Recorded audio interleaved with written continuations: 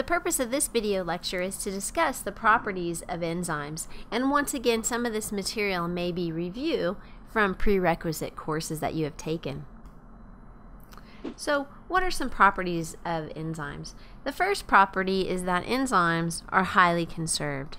So rather than just memorize that, right, let's think about what that means. So if it's highly conserved, you want to think about during a reaction, when an enzyme facilitates a reaction, it has to bind to the substrate. So if this is my enzyme, I'll make it look like a little Pac-Man here. This is my enzyme. And here is my substrate. Notice how my substrate can bind to this site on my enzyme. Okay, so in order for this to happen, the substrate has to be the proper shape to fit into the enzyme. But what do I mean by a highly conserved enzyme? When this reaction is over with, the enzyme, it maintains its shape. And that's what we mean by highly conserved enzymes. So after the reaction, the enzyme will release its product, the substrate gets converted to a product, the product gets released. The enzyme resumes its original shape, so it's retaining its original chemical properties, its shape, and its reactivity. So enzymes therefore are highly conserved. Another property of enzymes is that they decrease the activation energy of reactions, which is what we discussed in the previous video. Thirdly, enzymes are going to increase the rate of the reactions up to 10 to the 6 times. So that's remarkably faster. Reactions occur remarkably faster with enzymes than they would without. And remember, if we didn't have enzymes, those reactions would take an enormously long period of time, which would not be feasible for our bodies to actually function. Now, enzymes also have regulatory sites that allow the activity of the enzyme to be controlled. Not all enzymes, however, have these regulatory sites. So these reactions occur as long as the enzyme and the substrate are present. But for other reactions, especially those in the body, the process needs to be turned on and off as the products are needed. These controlled reactions use enzymes with regulatory sites, which allows for an enzyme to be activated like a switch. One example of this is blood clotting. If I hit my arm and break a capillary, the broken blood vessels release chemicals that activate the enzymes that start blood clotting. The platelets will form a plug to stop the bleeding and allow that vessel to heal. Without the enzymes activating to form a clot, a small injury would allow the body to bleed excessively and could be potentially lethal. On the other hand, if clotting did not require activation, we would spontaneously create blood clots that could stop blood flow to the heart or the brain and could be deadly. So let's look at what enzymes are composed of. So enzymes are composed of a string of amino acids. And so because they're a string of amino acids, that means enzymes are a type of protein. So they are a biomolecule or a macromolecule. Okay, so these amino acids are all held together via a peptide bond, just like when you learned about proteins. And here you can see one amino acid. Here's the second amino acid. We're going to have a reaction that occurs that combines these two amino acids together, forming our enzyme. Enzymes are actually composed of more than just two amino acids, but this is just an example of how an enzyme or how a protein would even be formed. Remember that peptide bonds hold together amino acids. So here's a question for you. If I'm adding two amino acids together to form a dipeptide, would this be an example of an anabolic or a catabolic reaction? This would be an example of an anabolic reaction. We're adding. Think anabolic starts with an A. We're adding two things together to make something much larger, an anabolic reaction. So would a reaction like this require energy? Does it require energy to build a macromolecule? The answer to that is yes.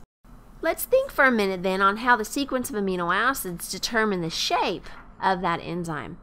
So recall that there are 20 types of amino acids and they all vary in their R groups.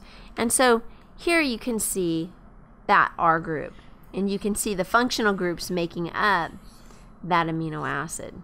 And so all of these R groups, that's what varies amongst the amino acids are the R groups. 20 different R groups. They vary in their size, okay, their charge, their shape, their chemical reactivity, for example. In this course, you do not have to memorize the 20 different amino acids. But what's important is that you understand that different amino acids have different chemical reactivity and binding capacities. So, depending upon what R group you have, folding of this enzyme could vary. So, just to remind you quickly about protein synthesis. So, DNA carries the coding for all the proteins in the body. In order for a protein to be made, the cell undergoes two processes transcription and translation. During transcription, your DNA code is converted to a messenger RNA sequence. Then your RNA is translated into a series of amino acids on the ribosome on the rough endoplasmic reticulum. Now, each amino acid is linked to the next in the sequence by a peptide bond. Amino acid chains do not stay in a single string.